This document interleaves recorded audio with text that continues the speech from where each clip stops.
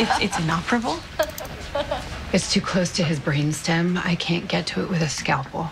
But this project that we're working on, the ultrasound, he could be a candidate. Oh, I thought that you hadn't done human trials. We don't. We haven't yet. I barely kept a 23 week old baby in her today, and you want me to go in there and ask her if her eight year old can be your guinea pig? I'm sorry, that's your plan? We don't have any other course of treatment. And he's seizing every three minutes. This is his only shot. Do you want to come in with us to talk to her? No. No. Damn it. Maybe I've done enough.